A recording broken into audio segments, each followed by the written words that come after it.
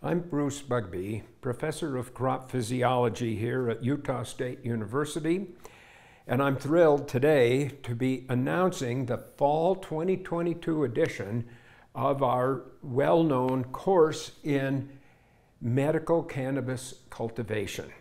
Um, we started with 54 lectures in the first edition, and we're going to build on that in this new edition with about 40 additional lectures in this course.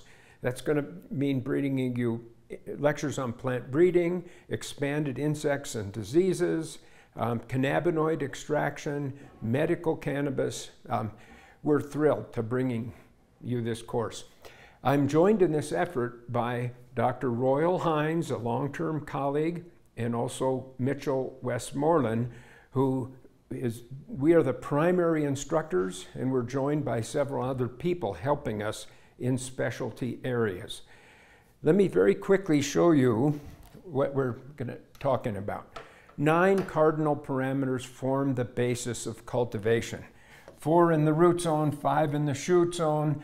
We especially focus on nutrients, water, light. As the light goes up, the water goes up, everything interacts with everything else.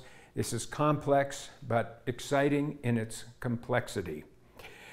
We're not only going to give you lectures in the principles and the theory, we're going to take you to our greenhouses and our growth chambers and show you the research we're doing. We're actively conducting research on cannabis cultivation, and as we make new discoveries, we're going to share them with you, and we're going to show you how we collect the data. We have over 44 growth chambers here at Utah State University to do this kind of research. At the end of the course, you can take an exam, and on successful completion of the exam, you'll get a certificate of completion signed by all of us. Uh, that's been a great thing for students.